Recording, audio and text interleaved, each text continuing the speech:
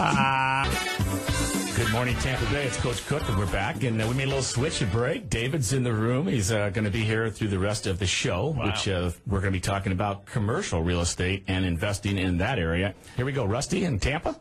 Hey, fellas, how you doing today? Good morning to you. Good morning. Good morning. I'm actually watching you right now on the webcam. Where are you? Are you in Tampa? you, you couple of handsome fellas there. Now, can you wave the one that's talking so I can see This is you? Coach Cook right here.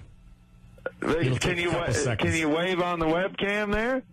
Yeah, yeah, we're here. We're here. You'll see it in about seven seconds, though.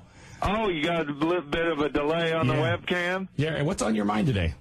Well, who's can the other guy? Oh, now I see you waving. I think. Can the other guy wave real quick? Yeah, do you have a question for us? Uh huh. What's your question for the coach? Hold on. I was just watching the webcam. How you doing, Coach? Yeah, you want to turn that, uh, put your radio off while you're on the phone. Oh, it's off, but I got the webcam on. I got the sound turned down. Well, that's great. Are you in Tampa? Yeah, I'm here in Tampa. What is the what's on the table there on the webcam though? What's all the papers and stuff you guys got in front of you on the webcam? Your papers and stuff. Is that real estate stuff? or- Yeah, we treat, we try to keep up on the news. What's going on with you? Oh, okay. You got is that newspapers? It looks like some articles or something there. Okay. Do you have a real estate question for us this morning?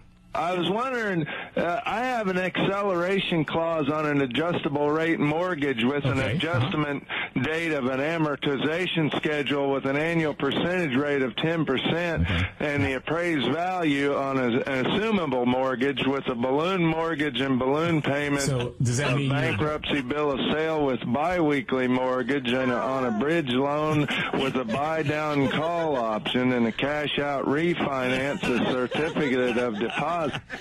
Yeah, I think the cell dropped out. So we long, he'll have to come back with a little stronger oh cell phone. I'm not sure what's going on out there. We'll be right back after.